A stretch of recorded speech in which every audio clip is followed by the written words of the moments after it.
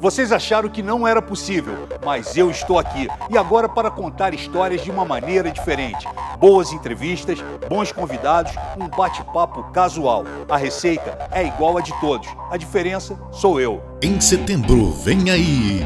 Boa noite com Alexandre Frota. E eu não fico em cima do muro. Vocês duvidam?